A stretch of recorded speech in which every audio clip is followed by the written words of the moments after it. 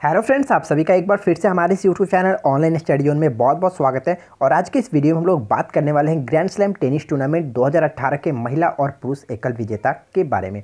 तो आप इस वीडियो को पूरा एंड तक देखिएगा। और वीडियो अच्छी लगे तो प्लीज़ वीडियो को लाइक एंड शेयर ज़रूर कर दीजिएगा। और चैनल पर पहली बार आए तो चैनल को सब्सक्राइब करके नोटिफिकेशन बेल को ऑन रखें, ताकि आने वाले सही वीडियो की नोटिफिकेशन आपके पास पहुँचती रहे। तो फिर चलिए स्टार्ट करते हैं बिना आपका टाइम को वेस्ट करते हुए।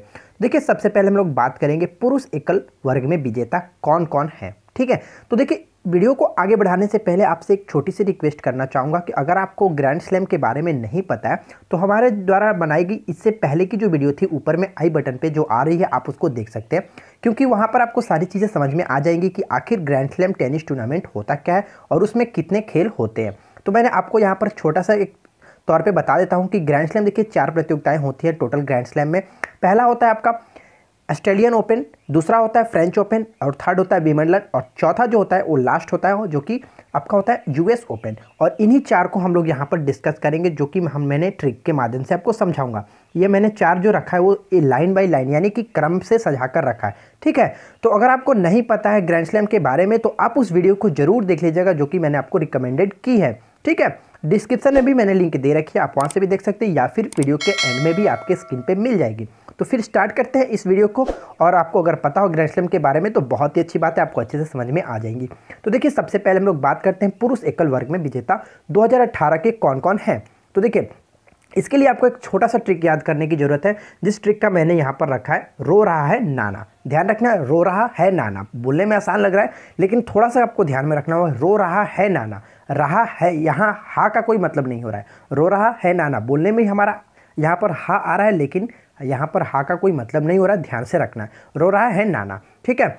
तो देखिए, सबसे पहले हम लोग बात करेंगे रो। रो का मतलब क्या है? Roger Federer. अब रोजर फेडरर विजेता तो रहे, लेकिन किसमें रहे? तो देखिए, मैंने आपको बताया कि टोटल ग्रैंड स्लैम में चार खेल होते हैं, जो कि आपका पहला जो होता है, वो होता है ऑस्ट्रेलियन ओपन। यानी कहने का मतलब ऑस्ट्रेलियन ओपन 2018 के जो विजेता रहे, वो कौन रहे?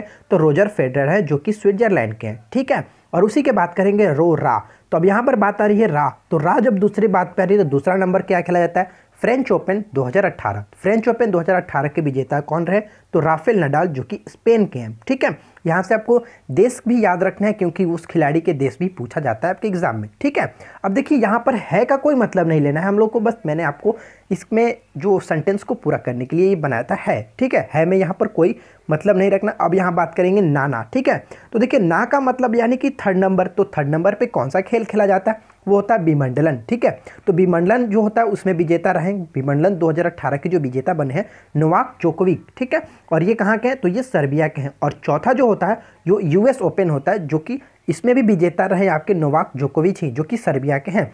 तो आई होप कि आपको पुरुष एकल वर्ग में जो 2018 के जो विजेता बने हैं आसानी से आपको याद हो गई होगी, ठीक है? आप इस ट्रिक को याद रखिएगा, कोई भी दिक्कत नहीं आएगी, रो रहा है नाना।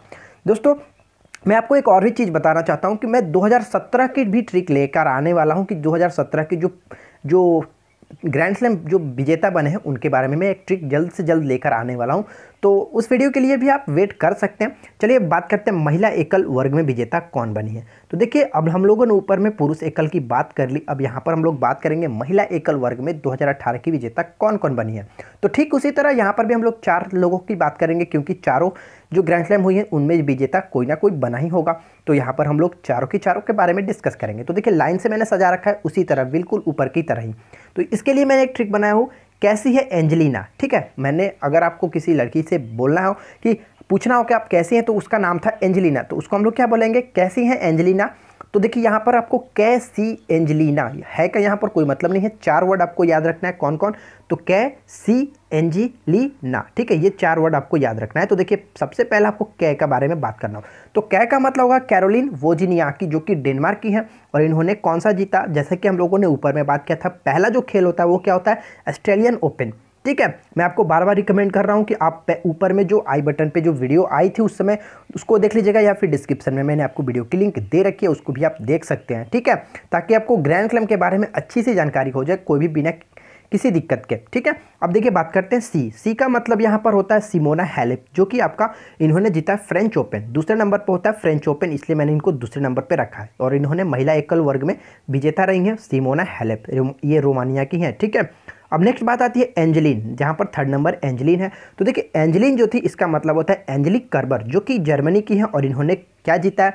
तो एक महिला एकल विमंडलन का खिताब जीता है 2018 में, ठीक है? अब देखिए लास्ट में आता है ना। तो ना का मतलब होता है नाओमी ओसाका जो कि जापान की है और इन्होंने जीता है। आपका लास्ट में क्या कौन सा होता है? तो यूएस ओपन खेला जाता है सबसे अंतिम में, ठीक है? तो नाओमी ओसाका जो है, वो यूएस ओपन 2018 की विजेता बनी है महिला एकल वर्ग में।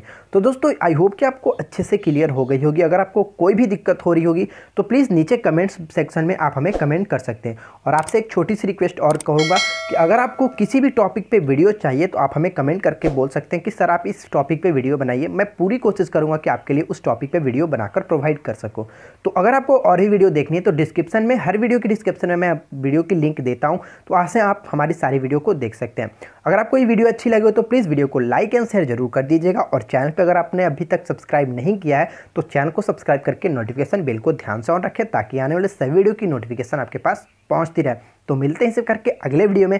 Thanks for watching keep watching keep learning have a good day